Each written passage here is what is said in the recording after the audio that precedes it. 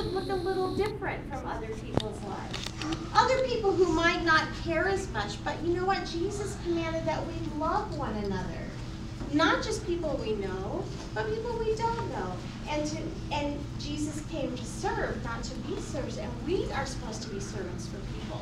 We show his love to others, and that way they will want to know why, and we can tell them about Jesus. Because we want everybody to know. We want everybody to know what, how wonderful Jesus is. What, um, so you, so you give them some ideas about, about helping the family and around the house. Um, but when you're, but, but when you're trying to be like Jesus, it's not always easy. Sometimes, some of you have brothers or sisters, and you don't always get along, you know, there's maybe some times when you're not getting along, but you have to ask yourself, now what would Jesus do? How would he handle it? Do you think Jesus would have an argument and and uh, whack somebody or you know? No. Yeah. So we're gonna so we're gonna do things differently maybe than other people do because we're trying to be like Jesus. We want to be the light of the world, not so people will look at us and say, "Oh, isn't he just the best person? Isn't she just so sweet and kind? It's not so people will say that about us. It's, it, uh, they'll see that, but then it's so we can tell them, hey, it's not me, it's God in me. That's why my life is like this. Yes. Um, sometimes my sister and me fight, and I and I always get mean to her, and she gets mean to me. And uh, when we stop fighting, I feel bad about my sister. So, um, so, so that's probably true for a lot of people, and and that's nice that you shared that because there's probably a lot of people in here that have that same experience that they argue with siblings and they fight with siblings. What's a way that you can handle that instead of uh, fighting and arguing with a friend or a sibling and you're not getting along, something's happening? Can you think of a, of, of a way that you could handle that, that something more like Jesus would do? Yes. Ask God. Yeah. You can always pray about it, right? Can you pray with your friend or your sibling? Yep. We're not getting along. We know this is not what Jesus would want. Why don't we pray together?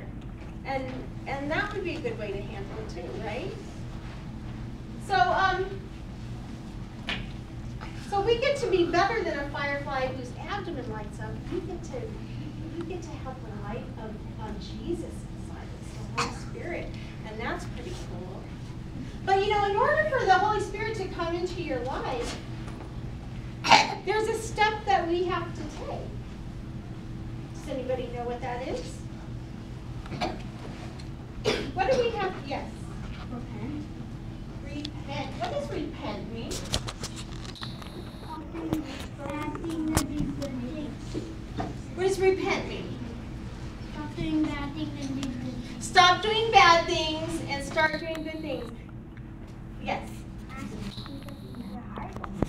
Jesus for forgiveness, and that's repenting, and ask Jesus to come into your your heart or your life. He doesn't actually. We don't have Jesus coming and living inside of your of your um, heart, your pumping heart.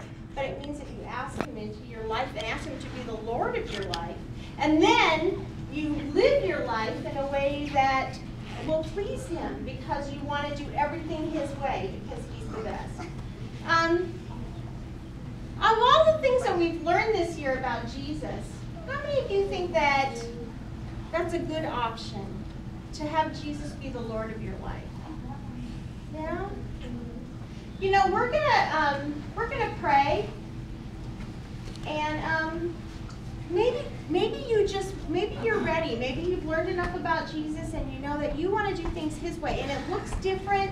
You know you're gonna try to do things different after afterwards. You're not gonna just do things like you've always done it, fighting and arguing with siblings and stuff like that. But um, but maybe you're ready for Jesus to be the Lord of your life, and you want to, and you want Him to be.